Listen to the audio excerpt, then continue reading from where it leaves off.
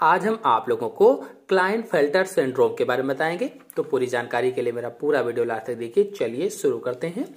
तो सन 1942 ईस्वी में एच एफ़ क्लाइंट फेल्टर नामक अमेरिकन वैज्ञानिक ने इस प्रकार के असामान्य पुरुषों का वर्णन किया था। मतलब ये हुआ कि क्लाइंट फ़िल्टर सिंड्रोम की जानकारी चिकित्सकों और विशेषज्ञों को सन 1942 से हुई और एच एफ़ क्लाइन फ़िल्टर नाम के एक अमेरिकी वैज्ञानिक थे। इन्होंने इस तरीके के जो रोग होते हैं, इस तरीके के जो सिंड्रोम होते हैं, उनकी खोज पुरुषों में की थी। यानी खोज का वर्णन पुरुषों में सबसे पहले इन्होंने किया था। और आपको बता दें कि लगभग 500 पुरुषों में से एक में क्लाइन फ़िल्टर सिंड्रोम पाया जाता है। यानी 500 लोगों में से एक पुरुष में ऐसा सिंड्रोम पाया जाता है। और क्लाइन फ़िल्टर सिंड्रोम लिंग गुणसूत्रों की ट्राइसोमी के कारण होता है। क्या कहा गया है? क्लाइन फ़िल्टर सिंड्रोम लिंग गुणसूत्रों की ट्राइसोमी के कारण होता है। इसका क्या मतलब है? मतलब इन व्यक्तियों के लिंग गुणसूत्र दो के बजाय तीन हो जाते हैं। जो लिंग गुणसूत्र दो होते हैं, हम सभी लोग जानते हैं, उनमें दो के बजाय तीन हो जाते हैं। और जब गुणसूत्र दो की जगह पर तीन हो जाते हैं तो उसे ही ट्राइसोमिक अवस्था बोला जाता है। ट्राई का अर्थ है तीन और सोमिक का मतलब है क्रोमोसोम या गुणसूत्र। अर्थात लिंग गुणसूत्र की ट्राइसोमिक अवस्था के कारण इस तरीके का सिंड्रोम हो जाता है। इस पूरी लाइन का ये अर्थ हुआ। इनमें एक्स एक्स वाई लिंग गुणसूत्र होते हैं। अर्थात इनमें सैतालीस गुणसूत्र होते हैं। मतलब ये हुआ कि इनमें एक एक्स्ट्रा क्रोमोसोम या गुणसूत्र आ जाता है। आमतौर पर छियालीस गुणसूत्र होते हैं। हम सभी लोग जानते हैं कि मानो कि एक कोशिका में छियालीस गुणसूत्र पाए जाते हैं। लेकिन एक बढ़ गया एक्स गुणसूत्र एक बढ़ गया तो कुल कितने हो गए? सैतालीस हो जाते हैं। यानी एग्ज़ाम में इसे हम कैसे लिखेंगे? Two N plus one is equal to forty seven. ऐसे लिख देंगे। चाहे आप लिख सकते हैं कि forty four plus X X Y, ऐसे लिख सकते हैं। तो ये इतने गुणसूत्र, यानी एक्स एक्स वाई लिंग गुणसूत्र इसमें हो जाते हैं, यानी कुल मिलाकर के सैतालीस गुणसूत्र हो जाते हैं।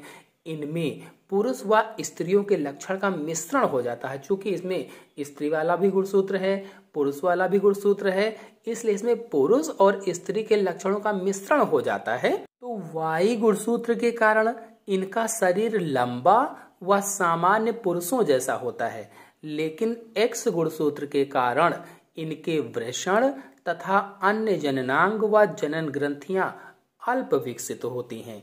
इसे हाइपोगोनेडिज्म कहा जाता है। कहने का मतलब ये हुआ कि इनमें अतिरिक्त एक्स गुणसूत्र आ गया। अब अतिरिक्त एक्स गुणसूत्र आया है और वाई गुणसूत्र भी है। तो वाई गुणसूत्र के कारण नर के लक्षण विकसित हो जाते हैं। यानी मनुष्यों के, पुरुषों के लक्षण विकसित हो जाते हैं और शरीर पुरुषों जैसा हो जाता है। और अतिरिक्त एक्स गुणसूत्र आया है तो अतिरिक्त एक्स गुणसूत्र के कारण वृषण छोटे हो जाते हैं। जो वृषण होते हैं, वो छोटे हो जाते हैं और शुक्राणु भी नहीं बनते हैं उसमें। जो शुक्राणु होंगे, वो नहीं होंगे, नहीं बनेंगे, और जो वृषण होंगे, वो छोटे छोटे हो जाएँगे। कुल मिलाकर कहें तो जननांग अल्प विकसित हो जाते हैं। इसीलिए कहा गया कि जनन ग्रंथियाँ अल्प विकसित हो जाती हैं, और इस पूरी प्रक्रिया को, इस तरीके का जो लक्षण हो जाता है, इसे हाइपोगोनेडिज्म बोला जाता है। हाइपोगोनेडिज्म। इनमें शुक्राणु नहीं बनते हैं, और ये नर बाँध ही होते हैं। बाँध यानी स्ट्राइल होते हैं। स्त्रियों के समान इनके चेहरे और शरीर पर बाल कम होते हैं और स्त्रियों में, यानी इनमें स्त्रियों जैसे स्तन भी विकसित हो जाते हैं। इस क्रिया को गायनिकोमेस्टिया कहा जाता है। गायनिकोमेस्टिया बोलते हैं। कुल मिलाकर कहने का ये मतलब हुआ कि अब इनमें शुक्राणु नहीं बनते हैं, इसीलिए ये नर बांधे होते हैं या स्ट्राइल होते हैं। अर्थात इनमें स्त्रियों के समान लक्षण आ जाते हैं। स्त्रियों जैसे लक्षण दिखने लगते हैं। जैसे कौन कौन से? शरीर पर बाल होते ही नहीं है या होते भी हैं तो बहुत कम होते हैं। जैसे स्त्रियों के शरीर पर बाल नहीं होते हैं, वैसे ही इनमें शरीर पर बाल होते ही नहीं है या होंगे तो बहुत कम होंगे, स्त्रियों जैसे होंगे। और स्तन पूर्ण विकसित हो जाते हैं। जैसे स्त्रियों के स्तन पूर्ण विकसित होते हैं मतलब पुरुषों में स्त्रियों की तरह स्तन भी पूर्ण विकसित हो जाते हैं। और ऐसी स्थिति को क्या कहा गया है? गायनिकोमेस्टिया बोला जाता है। इस स्थिति को क्या बोलते हैं? गायनिकोमेस्टिया बोला जाता है। ये असामान्य पुरुष, असामान्य अंडों व सामान्य शुक्राणुओं से अथवा सामान्य अंडों व असामान्य शुक्राणुओं में निषेचन होने पर बनते हैं। और ये असामान्य अंडे या शुक्राणु एक्स गुणसूत्रों के आवियोजन से बनते हैं।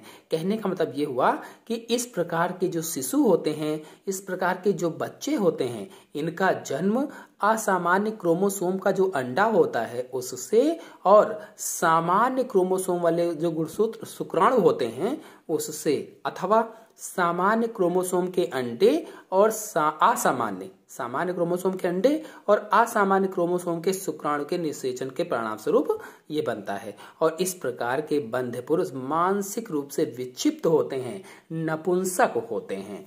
तो ये आप लाइन समझ गए। फिर ऐसे क्लाइन फ़िल्टर सिंड्रोम भी पाए जाते हैं, जिनमें लिंग गुणसूत्र एक्स वाई वाई यानी इस तरीके के भी गुणसूत्र पाए जाते हैं कि एक्स वाई वाई होगा। फिर एक्स एक्स एक्स ही हो सकता हो या तीन से अधिक भी कभी कभी पाए जाते हैं, जैसा कि आपको हम दिखा रहे हैं।